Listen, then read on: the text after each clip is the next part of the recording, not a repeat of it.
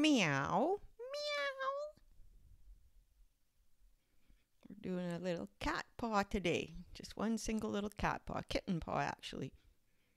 I'm just kind of feeling out the shapes where the toes would be.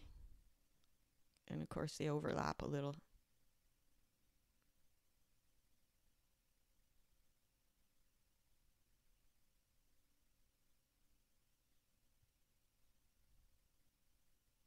Just want to proceed cautiously here because I just want the lines that are important. Don't want too much extra background noise.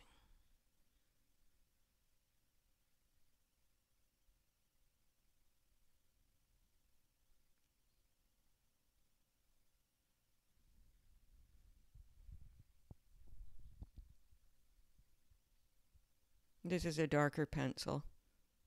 You know, kind of want to start with a lighter pencil because I don't want too many lines that stand out too much.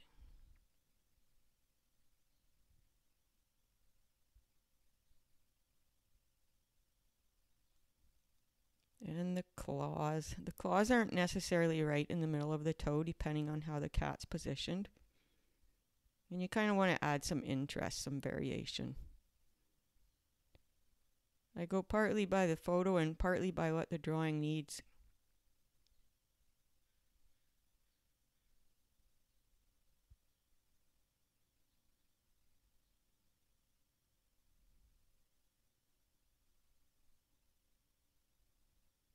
Then we want to add a bit of shape to the bottom of the paw. Plant it.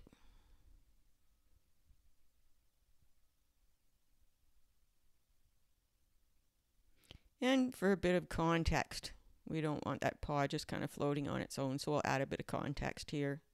There's that other little leg that's tucked in.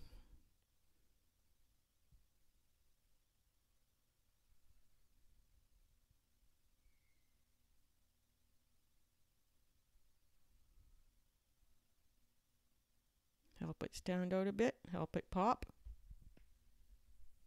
A bit of shadow.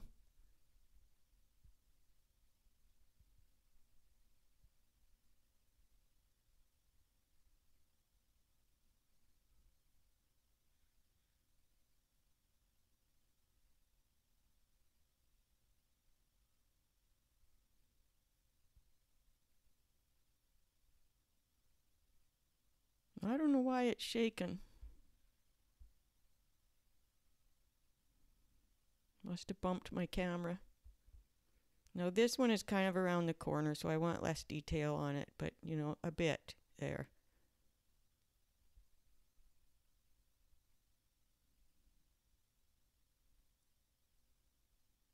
I don't particularly like the angle of that one, so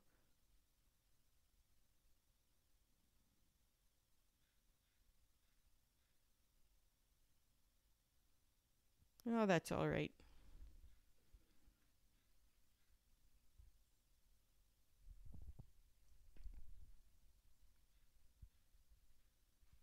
Just kind of trim things up a bit here. Got a bit too much in there.